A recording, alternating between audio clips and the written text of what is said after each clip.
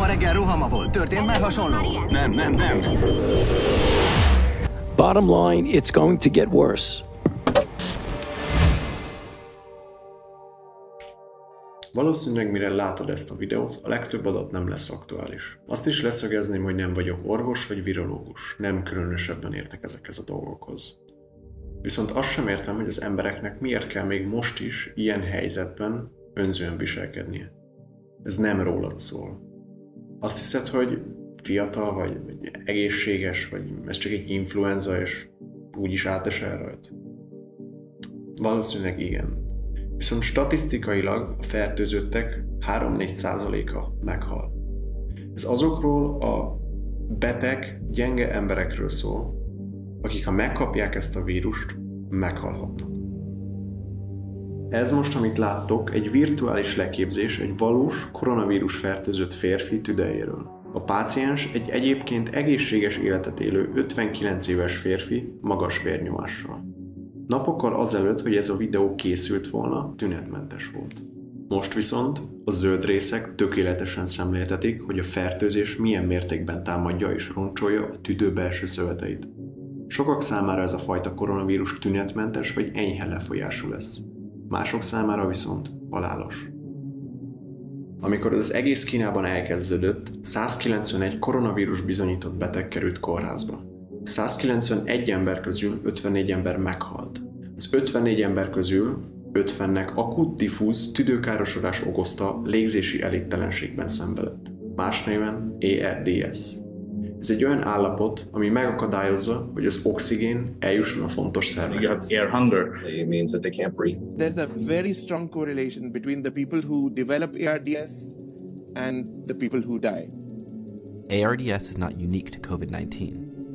such a long list of causes. Infection. People with HIV AIDS, if you get into a big motor vehicle accident and sustain multiple injuries to multiple organs, that causes ARDS. SARS and MERS. Now, things that you inhale and that can be toxic can cause ARDS. Household bleach, you know, war gases, mustard gas, and phosgene. So, the people who vaped THC that was contaminated with vitamin E acetate, and those patients were also developing ARDS.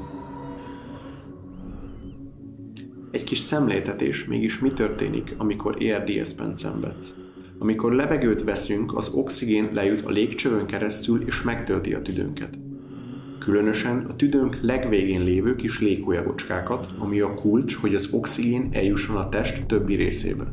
Na már most ez a rés, a légkolyagocskák és a kapilláris között méretben vagy mikrométer nagyságú, lényeg, hogy nagyon kicsi.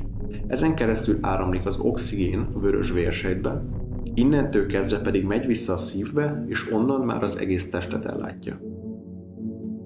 Ez a kulcsa annak, hogy megértsük, a koronavírus miért halálos néhány ember számára. A vírus által ez az egész fal légholyagocskákkal roncsolódik, csak hogy el tud képzelni. Ez olyan, mint amikor a fal penészes kezd lenni, először még kis helyről, aztán egyre nagyobb lesz.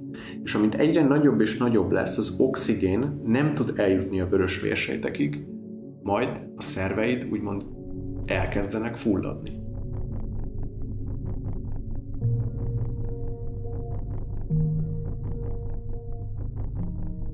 Hallottatok már arról a bizonyos járvány görbéről, és hogy el kell laposítani. Most egy picit szemléltetném, hogy mégis miről szól. Hogyha mindenki körülbelül egyszerre kapná ezt a vírust, valahány százalékának biztos, hogy szüksége lesz speciális orvosi ellátásra azaz speciális lélegeztetőgépre, vagy szimplán ágyakra. Na már most ebből nincsen végtelen mennyiség.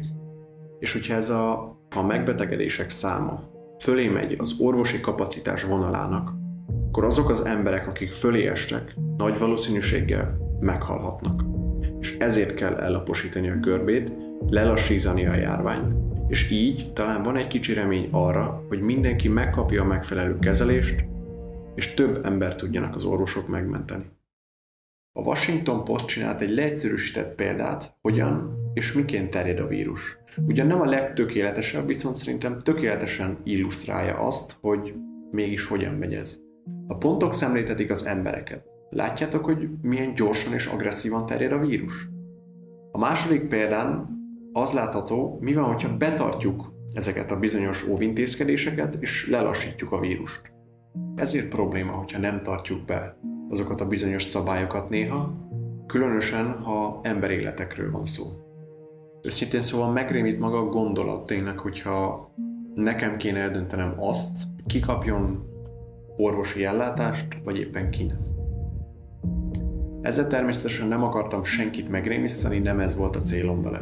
Úgy gondoltam, hogy ezt el kellett, hogy mondjam. Ezt a helyzetet csak úgy tudjuk legyőzni, hogyha közösen, együtt, betartva a szabályokat, odafigyelünk másokra. Mit jelent ez egy átlagembernek? Ugyanúgy elmehetsz futni, biciklizni, elmehetsz a dolgodra, természetesen betartva a szabályokat. Egyszerű dolgok. Ne nyújkálj az arcodhoz, gyakran most kezet, kerüld a beteg embereket, és hogyha úgy érzed, hogy beteg vagy, akkor maradj otthon.